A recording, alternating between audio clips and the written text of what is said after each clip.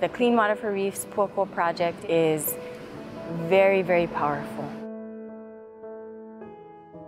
We do feel our connection and our kuleana to place, and we are definitely tied to this entire area. There was a time when wastewater was not a problem. You know, my dad had a saying where he would always say, Kauai, there's no problem. People make problems. Hawaii Island has some very unique hydrology. We have three active volcanoes, so the surface of half of the island is made up of this fractured rock. All of our water that comes as precipitation very quickly percolates into the soil and moves down into the groundwater. In Hawaii and on Hawaii Island, on-site sewage treatment like septic tanks or cesspools are the main way of treating sewage. All the sewage goes into the cesspool and there's holes to allow the liquids to drain off. The fate of that sewage is then to the groundwater below. That groundwater then flows towards the ocean out to the shoreline.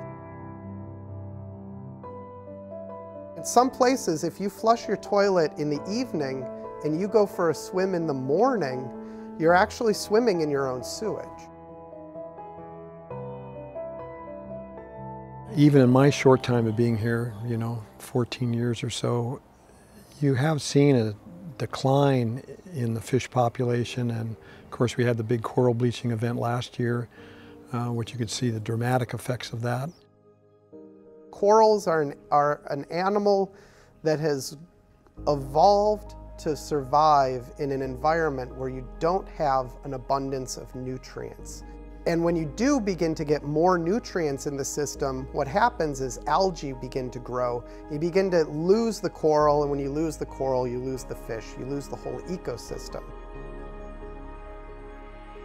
There are signs of impaired coral health and um, disease levels are actually linked or correlated with some of the nutrient levels that we're seeing. So in areas where you're seeing a lot of nutrients coming in, um, we're seeing higher levels of, of disease.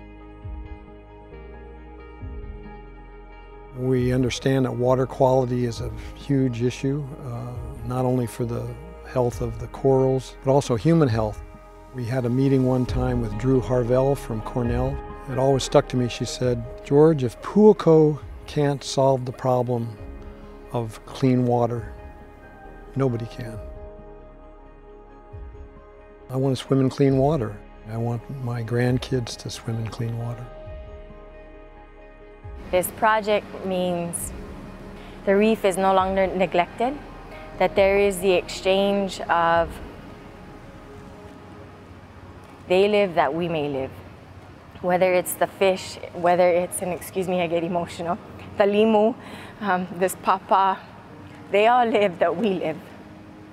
And so for the reef to have the attention that it needs and it deserves, Puakō for us, is just an acknowledgement that that connection has never been lost. She continues to provide for us in many ways, and it is our turn to step it up and give back.